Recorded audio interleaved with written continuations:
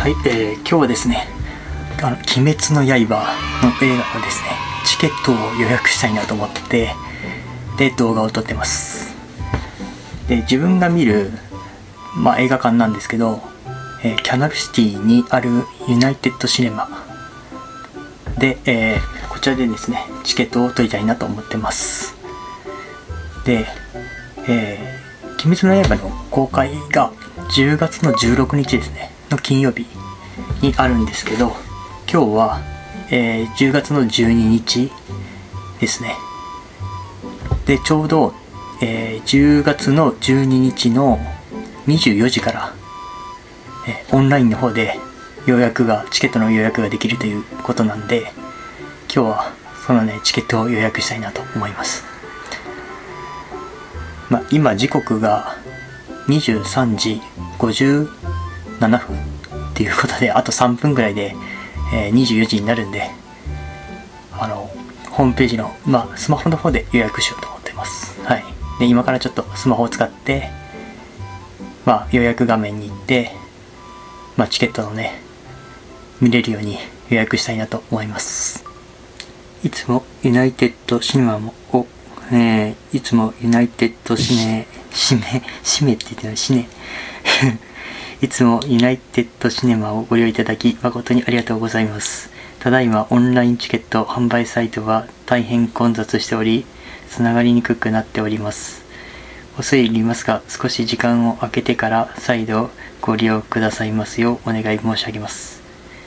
ユナイテッドシネマ株式会社。はい。もうね、パンパン ネットの回線がパンパンみたいですね、これね。もう、終わってんな、これ。あ本当に。いや、まさかこんな。いやいやいやいやいや、すごいっすね、やっぱ。鬼滅の刃の人気がすごすぎて、もう、全然チケット買えないですね、これ。オンラインチケット。あ、ん？うわうん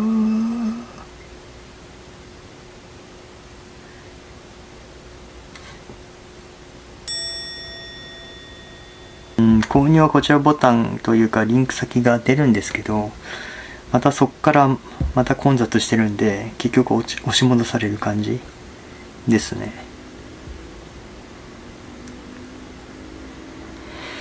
うん。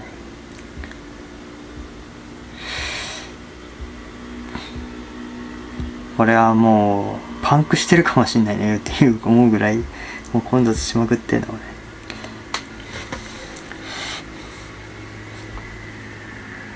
ちょっとつながるかどうかやってみますちょっともうお風呂入ってきたんですけどもはいあのあれからですね1時間ぐらいあのもうスマホのもう更新ボタンをね何回も何回も繰り返しをしてもうなもう100回ぐらい越してたかな。もう何回も何回も本当に押して、どうにか、どうにかですね、あのー、映画のチケット予約できました。うん。よかった。なんで自分は、えー、朝のですね、9時から、鬼滅の刃の映画を16日ですね、見に行きます。はい。で、しかもなんか、このことは知らなかったんですけど、ちょうどそのキャナルシティのユナイテッドシネマで16日がなんか会員デーみたいだったらしくてなんか1100円でしたね。値段がですね。なんでまあその1100円のお値段で 見に行けるっていうことになりました。まあ本来はちょっとね iMAX 版っていうもうほんと画像が綺麗なやつにしたかったんですけど、うん、それはね、ちょっとね、自分もちょっと焦って予約したんで、ちょっと iMAX 版はですね、までちょっとあ、あのー、まあ、頭が回らなかったというか、はい、もう通常版で我慢しようと思って、9時からある通常版の映画チケットを予約できました。はい。よかったです。まあ、まずね予約できてよかったと思いますあおはようございます今日はですね「鬼滅の刃朝9時からということで今からですね。ちょっと用意して見に行こうと思います。うん眠い。ほぼ朝一ぐらいでみたいなと思って。はい。予約したのが9時です。今7時半かな。今7時半なんでもう今から行けばね間に合うかなと思います。行ってきます。はい、えー、と今ですねあの映画の「鬼滅の刃」行ってきました。はい。行ってきましたね。はい。でまああの映画のね感想をちょっと軽く言おうかなと思います、まあ、ただちょっとネタバレとかあの映画の構成とかちょっとそういったものも含めると思うんでそういうことがねちょっとね嫌だなと思う人はちょっとブラザーブックをお願いします。はい。でもうちょっとねあのー、まあ言ってみた感想を言おうかなと思うんですけどもうねす,、まあ、すごく綺麗で映像綺麗ですごく面白かったっていうのがあるんですけど まあもうねまあやっぱりあの映画の内容自体やっぱりちょっと泣けるストーリーなんで自分も結構映画なん映画中に何回ぐらいかな？3回ぐらいはちょっと泣きそうにちょっと目が潤んでしまったなと思うシーンがありました。はい。あれはねちょっと多分うん、でも、もう映画の会場的にもなんかちょっと明らかにちょっと泣いてるような、すすり泣くような声も聞こえたんで、まあね、多分、まあ自分と同じような多分気持ちを持った人がね、多分映画館にいっぱいいたんじゃないかなと思います。はい。で、でまあ映画館でもらったもんなんですけど、これ、まあ塗り絵ですかね。この塗り絵の紙と、まあこちらですね。はい。裏と表なんか塗り絵ができるような紙をもらいました、はい、これとあとこれはこれは多分これ映画につながるようなこの内容になってると思うんですけどこれ中まだ読んでないんですけどこれ一応まあ漫画本みたいな感じ漫画本ですかね。はい。これをいただきました。はい。うん、うん、多分というかまあちらっと見た感じ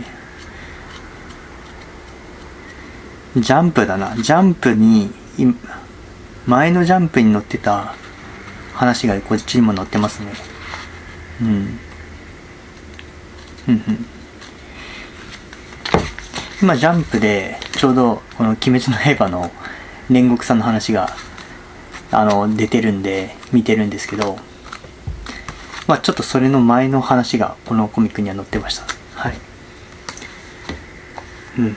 であとまあ今日ね あの映画を見てもう早速映画終わった後にですねちょっとまあグッズコーナーあると思うんですけどこちらにねもうすごいね列が並んでたんですよやっぱり。何人ぐらいかなもう50人はさすがにいなかったけど30人近くぐらいこう列がこう並んでてで、自分もちょっと欲しいもの買えるかどうか、まあ、ちょっと難しいかなと思ったんですけど、まあ、普通に欲しいものを買えたんで、ちょっとそれの紹介をしたいなと思います。はい。で、欲しいものってこれが欲しかったんですよね。これ。これなんか一番もう、なんかね、煉獄さんのですね、この、アクリルマスコットなんかな。アクリルマスコットのやつですね。ちょっとね、デザインがちょうどかっこいいなと思って、これを買いました。はい。これね、しかもね、多分か、うん、飾れるんじゃないかな。多分飾れるんで、うん、これはいいなと思いましたね。お値段約何倍だっけ ?1300 円ぐらいだったと思います。はい。これと、まあ、これはまあ、無難なやつなんですけど、まあ、クリアファイル。はい。このね、煉獄さんがこう構えてるシーンですよね、はい、このクリアファイル買いましたまああの映画に関してはほんていうかまあ今回の映画に関してはまあ煉獄さんがもうほぼ主人公的な感じじゃなかったかなと思います。うん。まあそうですね。まあもちろん炭治郎も活躍してましたけどでもやっぱ主役としてあの映画の主役としてはまあ煉獄さんなのかなと思いましたね。個人的には。うん。でうんまあやっぱり泣けるシーンって最初言ってまあ言ってたと思うんですけど23回あったっていうか3回ぐらいあったって言ってたと思うんですけどまあ1回目はそのやっぱ煉獄さんの過去の話ですね。この夢の中で過去に戻ると戻るシーンがあるんですけどあそこのシーンがやっぱり まあねその煉獄さんのまあそのなんですかどうしどうどんな感じでこうまあひ、まあ、炎の柱になったのかと柱になったのかっていう話がまあそのね過去の話から追ってわかるんででその話を見ていく中でやっぱりね結構なんですかねまあ心に来るものっていうのがあったなと思います、はい、見ててねまあ辛い過去を持ちつつこの柱になったんだなっていうのがちょっとわかるシーンがあったあったんでそこのシーンでちょっとねあのちょっと泣きそうになりましたね。はい。で、えー、自分の中で次に、まあ、ちょっと泣きそうになったシーンとしてはこの上限の鬼の赤座が、えー、その煉獄さんと戦った後に まあそうですね煉獄煉獄さんと戦って死闘を繰り広げた後にまあその赤座のその拳がこの煉獄さんの体を貫通させてであのなんていうか逃げれないように煉獄さんはとどめてるところ。でこう日の光を待ってるようなシーン。あそこで あの、まあ、死を覚悟しながらこの赤座を止めようとした時にその母親の、まあ、なんか思い出、うん、またその過去のシーンに戻って母親が言った言葉を思い出してでその決意してその赤座にまた立ち向かおうとしたシーンあそこがちょっとねあのちょっとまあ気持ちにな泣きそうになったかなと思います。はい。そうですね。あそこがあそこは良かったですよね。そのお母さんがそうですね。思い出の中でお母さんがまあそのね強い人でいるっていうことはどういうことかっていうのをそのね煉獄さんに聞くわけですよね。でそこで、まあそうですね。お母さんが、うん、その強い人とはどういう人かっていうのを煉獄さんに教えるシーンって言ったらいいかな。まあそういうシーンですよね。そういうシーンのところでちょっと泣きそうになったっていうのが2回目で、まあ、3回目はもう最後のエンディングですよね。はい。エンディングのあの「ホムラ」っていう主題歌の曲が流れた時にこの歌手の歌詞の初めに「さよならありがとう」っていうのを言うんですけどそこのシーンがねやっぱり曲と合わさってというかその終わる終わった後にすぐにそれがこうね流れるんで主題歌が。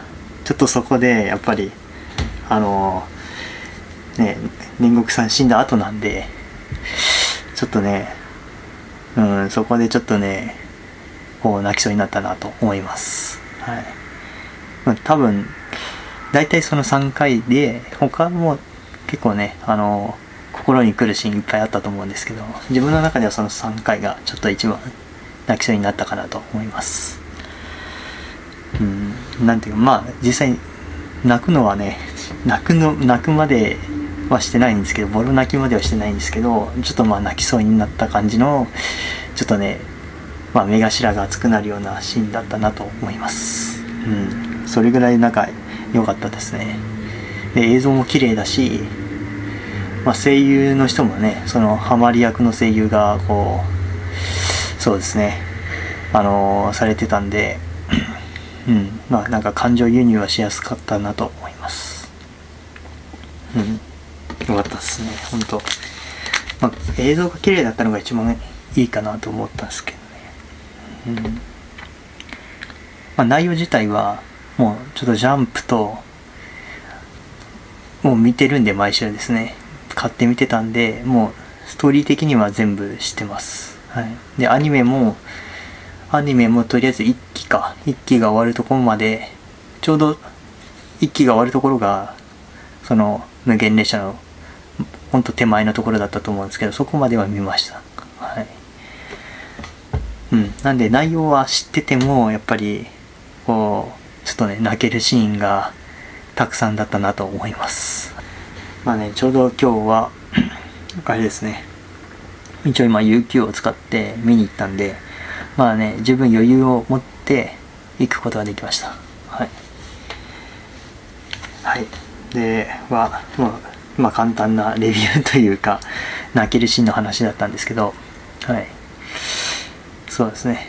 いや本当にえー、鬼滅の刃の映画面白かったです。